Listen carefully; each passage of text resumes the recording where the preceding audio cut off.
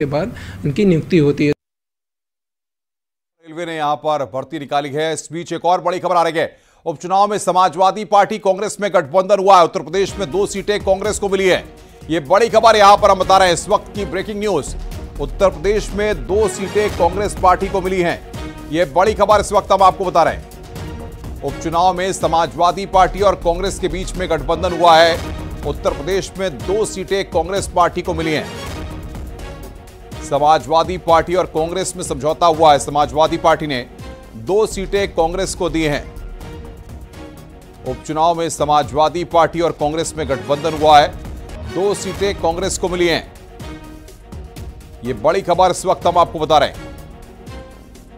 दो सीटें कांग्रेस पार्टी को दी गई हैं। समाजवादी पार्टी ने गाजियाबाद और खैर सीट कांग्रेस को दी है। गाजियाबाद और खैर सीट कांग्रेस को दी गई है। बड़ी खबर इस वक्त की। गाजियाबाद और खैर की सीट कांग्रेस को यहाँ पर मिली है। इन दो सीटों पर जो उपचुनाव है उसमें कांग्रेस के प्रत्याशी चुनावी दंगल में ताल ठोकेंगे। बड़ी खबर इस वक्त हम आपको बता रहे हैं। गाजियाबाद और खैर में, अलीगढ़ की खैर विधानसभा की सीट। अलाउद्दीन बातचीत करने के लिए हमारे साथ जुड़े हुए हैं। अलाउद्दीन फॉर्मूला क्या होगा? लगातार यह सवाल हो रहा था और फॉर्मूला क्लियर हो गया है, गठबंधन हो गया। और दो सीटें कांग्रेस के खाते में। कुल दस विधानसभा उपचुनाव को लेकर के जो बातें चल रही थी, उसमें से समाजवादी पार्टी के खाते में आठ सीटें आई हैं, दो सीटें कांग्रेस पार्टी के पास गई हैं। कांग्रेस के पास जो सीटें गई हैं, वो शहरी इलाकों की सीटें हैं, यानी वो सीटें हैं अलीगढ़ की खैर और जबकि दूसरी गाजियाबाद की सीट है। बाकी आठ सीटों की बात करें, उस पर समाजवादी पार्टी खुद लड़ रही है। एक प्रत्याशी को अभी थोड़ी देर पहले उतारा गया है। कुंदरकी में सिर्फ़ उनका प्रत्याशी बचा हुआ है। बाकी बात करें करहल से, जहाँ पहले से ही तेज प्रताप यादव प्रत्याशी हैं। सीसा मऊ से नसीम सोलंकी, फूलपुर से मुस्तफ़ा सिद्दीकी, मुल्कीपुर से अजीत प्रसाद अजीत प्रसाद, हालाँकि चुनाव का वहाँ ऐलान अभी नहीं हुआ है। कटहरी से शुभावती वर्मा और मझवा से ज्योति बिन, पहले से प्रत्याशी घोषित हैं। और कुंदरकी से प्रत्याशी कल तक घोषित कर दिया जाएगा। और फ़िलहाल जो अटकलें जो थी लगातार उत्तर प्रदेश के उपचुनाव को लेकर के वो साफ़ हो गई है। गठबंधन का रास्ता तय है। दोनों पार्टियाँ गठबंधन के तहत चुनाव लड़ेंगी। कांग्रेस समाजवादी पार्टी।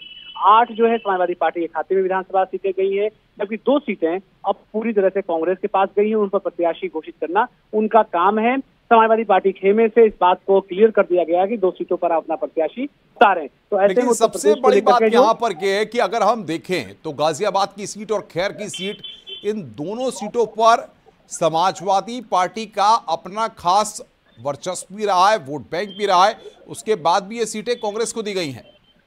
जी हाँ बिल्कुल बात आप सही कह रहे हैं। इस बात को मैं थोड़ा सा आगे और ले जाऊँगा कि आपको याद होगा हरियाणा के विधानसभा चुनाव में जो कि इंडिया गठबंधन का पार्ट समाजवादी पार्टी था लगातार कह रहा था कि यादव बाहुल जो इलाका है, जहाँ पर अट्ठाईस सीटें आती थी, उनको सीट दी जाए।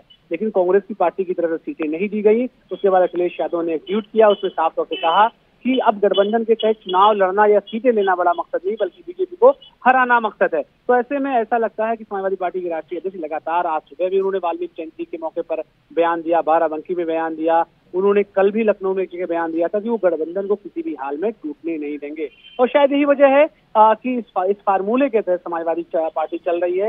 ये बात आपकी ठीक एकदम है और राजनीतिक तौर से भी ठीक आप कह रहे हैं कि वहाँ पर उनका होल्ड है लेकिन इसके बाद भी कांग्रेस पार्टी को चुनाव लड़ने का मौका शायद इसलिए दिया जा रहा है कि समाजवादी पार्टी के राष्ट्रीय अध्यक्ष ने हरियाणा चुनाव के मौके पर जो ट्वीट किया था कि बीजेपी को हराना उनका बड़ा मकसद है ना कि गठबंधन के तहत सीटों को लेकर के खींचतान लड़ाई झगड़ा है। और शायद सवाल सबसे बड़ा ये खड़ा होता है कि आपने गठबंधन कर लिया सीटों का बंटवारा भी हो गया लेकिन क्या इन दस सीटों पर अखिलेश यादव और राहुल गांधी दोनों की जोड़ी प्रचार करते हुए कैंडिडेट्स के लिए चुनावी जनसभाएँ करते हुए भी दिखाई देगी?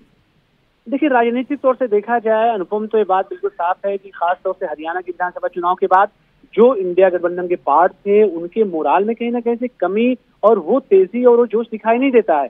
तो ऐसे में जहाँ तक अखिलेश यादव का सवाल है, उन्होंने पहले ऐलान किया है कि इन तमाम सीटों पर जाएँगे और कांग्रेस पार्टी की तरफ़ से भी उनके बड़े नेता इस मैदान में उतरेंगे, हालाँकि वो उनकी रणनीति होगी, लेकिन कम से कम सियासी तौर से अगर देखा जाए तो पॉलिटिकल पार्टी अगर मैदान में रहेंगी तो उनके ना कार्यकर्ताओं का ना सिर्फ़ मोराल बूस्ट होगा बल्कि चुनाव लड़ने में मदद मिलेगी। क्योंकि देखिए अभी जिस तरह से जो टिकट एक दिया गया है मीरापुर का वो एकदम से उम्मीद नहीं थी बात कही जा रही थी कि कादिर राणा की बेटी को उतार दिया जाएगा या उनके बेटे को उतारा जाएगा। फैमिली उनकी ही है ये बात सच है लेकिन उनके बेटे की वाइफ को यानी कादिर राणा ने अपनी बहू को आ, मैदान में उतारा। ना अपनी बेटी पर न बेटे पे दाव लगाया। सुम्बुल राणा जो कि एक युवा प्रत्याशी है युवक युवा नेता है तो शायद राजनीतिक तौर से अगर देखा जाए तो इस सब के पीछे अपना जो उनका तर्क होता है कि वो जनता के बीच में जाके ज़्यादा पॉजिटिव मैसेज दे सके। और शायद बाई इलेक्शन में अखिलेश यादव की तरफ़ से तो ऐलान है कि वो इलेक्शन में जाएँगे। अब कांग्रेस पार्टी भी कम से कम अगर हरियाणा के इलेक्शन की गज़ल को देखे, अति उत्साह में अगर नहीं होगी तो बिल्कुल उनको मैदान में जाना चाहिए। बिल्कुल, अलाउद्दीन, बहुत बहुत शुक्रिया आपका हमारे साथ जुड़ने के लिए और बातचीत करने के लिए। अलाउद्दीन, हमारे संवाददाता इस वक्त की बड़ी खबर पर हमें अपडेट दे रहे थे। बहरहाल उत्तर प्रदेश में दो सीटें कांग्रेस पार्टी को दी गई हैं। मीरापुर सीट पर समाजवादी पार्टी ने अपना प्रत्याशी उतारा है और गाजियाबाद और अलीगढ़ की खैर विधानसभा की सीट पर अब कांग्रेस पार्टी अपना प्रत्याशी उतारेगी। और इस बीच बड़ी खबर, बहराइच गोलीकांड के आरोपियों के एनकाउंटर पर एआईएमआईएम प्रमुख ओवैसी ने